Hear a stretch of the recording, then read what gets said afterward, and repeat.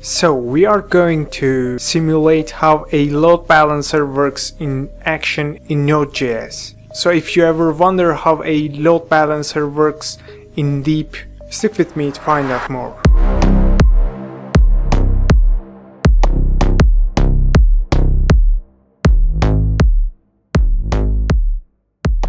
Hello and what's up guys, Medium Guy here and in this video we'll see how to create a load balancer in Node.js proxying the request to the upstream servers that we are going to run in a Docker container. So in the previous videos we saw how to create a proxy server in Node.js using a package but in this video we'll see how to create one from scratch without any package. So let's get down to work. So to get started I've created a node project using the command npm init and as my dependencies I am going to need Axios, Express and NodeMon and my start script will be nodemon index.js. So the thing that we are going to build is a load balancer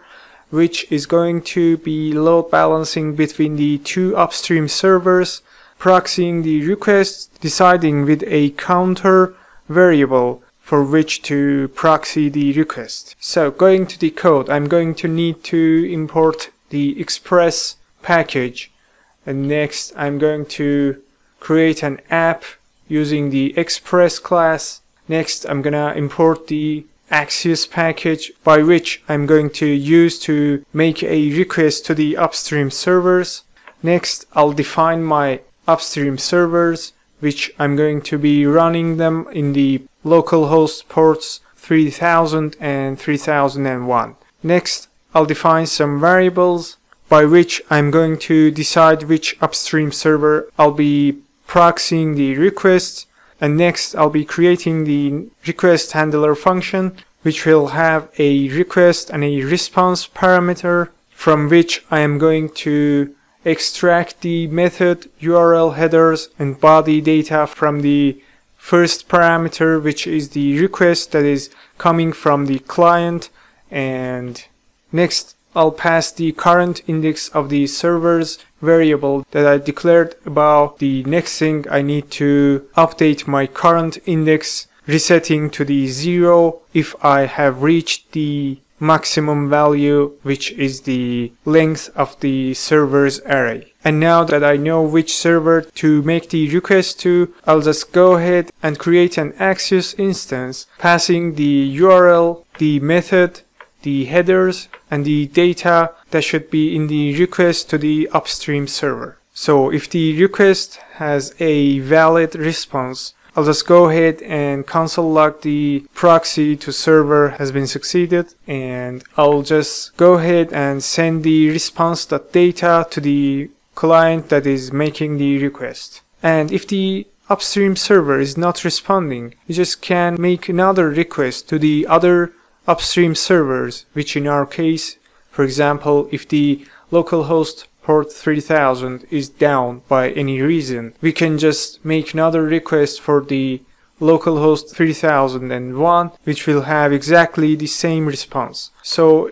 in order to do that, I'll create a catch block and I'll call the handler function passing the request and response as the parameters. So our handler function is complete. The next thing I just need to pass the handler function as a middleware to my application. So I'll just go ahead and say app.use passing a function which has a request and response which is going to call the handler function passing the request and response to it. The next thing I'm just gonna listen to the app on a random port which in my case will be 3030. So we have finished our work in here and the next thing I'll just need to have two upstream servers and if you have cloned my repository which I'll put the links down below if you want to follow as I am doing we have set the node proxy app in the previous videos, which I'm going to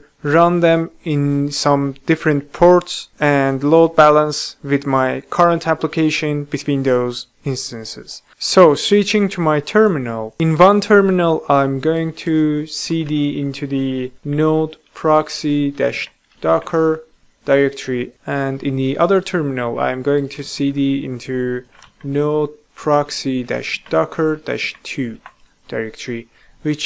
in both I'm going to run a server. So in the first instance I'll hit ls and I see that I have a docker compose file so the only thing that I need to do is check the port that it is going to expose so I'll hit nano docker compose and I see that I have mapped the 3000 port to the 3000 port inside the container. So this is correct. The only thing I have to do is say docker compose up. So this is going to create my server and listen on port 3000 and also in the second instance directory I am going to check the uh, port that is being exposed which is 3001 and is the exact same port that I need it to be. And again the only thing that I need to do is say docker compose up so this will just create my second instance and now I have the two instances of the node proxy app each running in other ports. So if I go to